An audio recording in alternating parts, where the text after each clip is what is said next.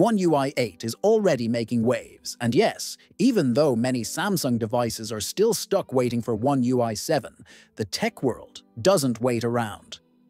A Galaxy S25 Ultra running Android 16 with One UI 8 has been spotted in action, making it clear Samsung is fast-tracking the future. According to Ice Universe, they're completely skipping One UI 7.1. Normally, this 0.1 update drops alongside new foldables, but not this time. Why? Because Google is pushing Android 16 earlier than expected, likely landing in May or June.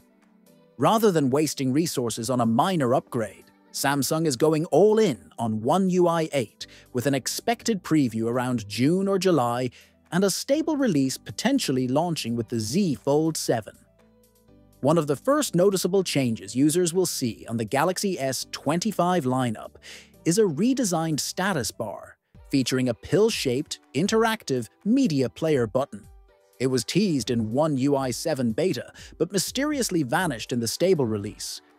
Now it's finally coming back. Also, that irritating charging animation glitch?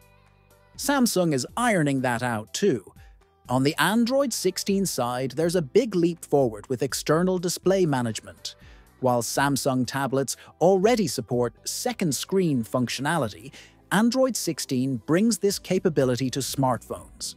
Even better, users will now have PC-style screen alignment, letting them position their phone's display relative to their monitor.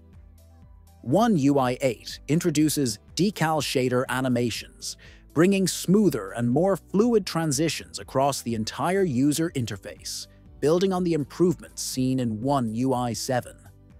Android 16 complements this by adding system-wide forced dark mode, including support for legacy apps, and testing an ultra-low brightness setting for better nighttime usability. Another visual enhancement comes in the form of HDR screenshot support, finally preserving vivid colors and contrast when capturing content on HDR-capable displays. Expanding personalization, One UI 8 now allows third-party widgets on the lock screen, a feature previously limited to Samsung apps.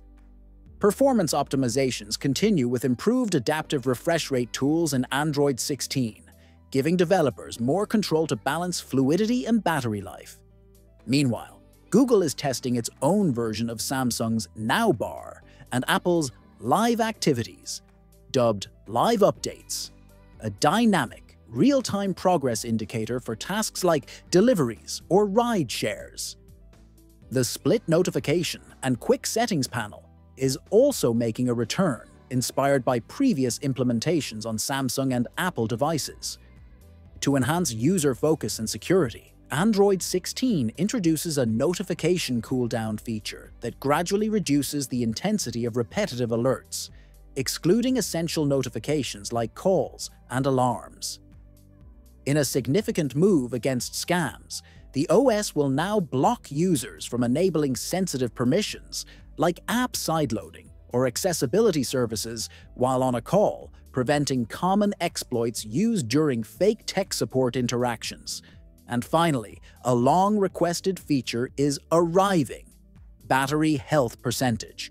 While some Samsung users got a sneak peek of this in One UI 7, it wasn't universal. Hopefully, One UI 8 will bring battery health monitoring to everyone, not just a select few.